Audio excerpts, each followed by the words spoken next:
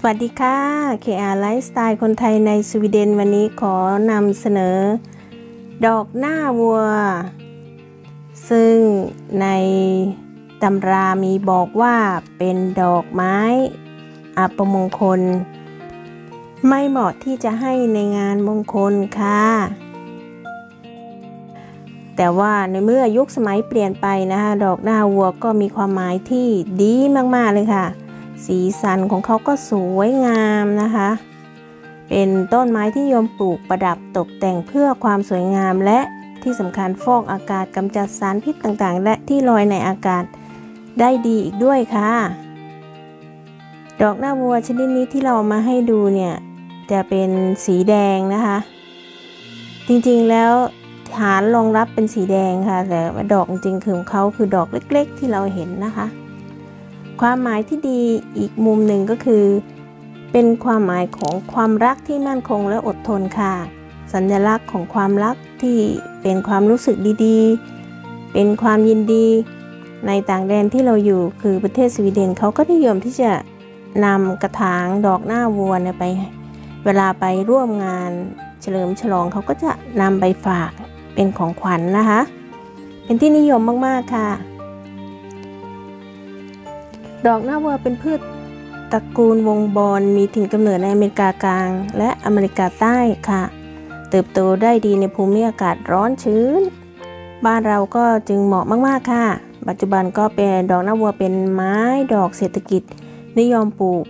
มาขายกันมากขึ้นทั้งในประเทศและส่งออกอีกด้วยนะคะ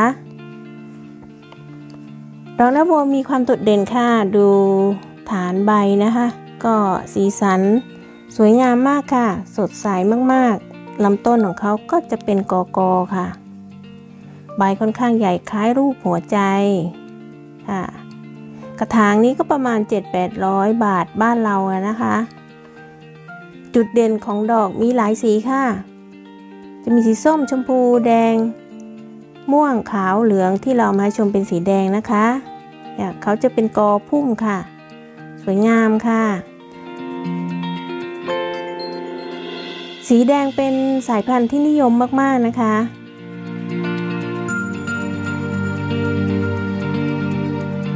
ใบของเขาก็จะเป็นสีเขียว รูปทรงเป็นเหมือนหัวใจค่ะ รูปหัวใจเลยนะคะ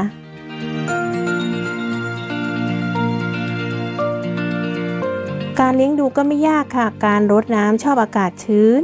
ต้องรดน้ำให้ชุ่ม น้ำก็ต้องสะอาดด้วยนะคะ การใส่ปุ๋ย นิยมใส่ปุ๋ยผสมน้ำนะคะ แสงแดดเขาชอบแสงลำไรค่ะ ไม่ชอบแสงแดดโดยตรงนะคะ จะทำให้ใบของเขาไหม้ส่วนมากเขาก็จะนิยมไว้ในห้องนอน เพราะว่าดอกหน้าวัวสามารถฟอกอากาศและดูดสารพิษได้ดีมากๆค่ะสำหรับดอกหน้าวัวที่มีสัญลักษณ์ดีๆนะคะแล้วเกี่ยวกับความสุข มีวัสกรก็ดีนะคะ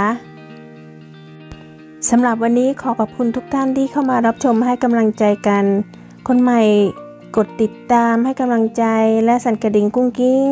สำหรับวันนี้ขอให้ทุกท่านโชคดีมีความสุขนะคะ สวัสดีค่ะ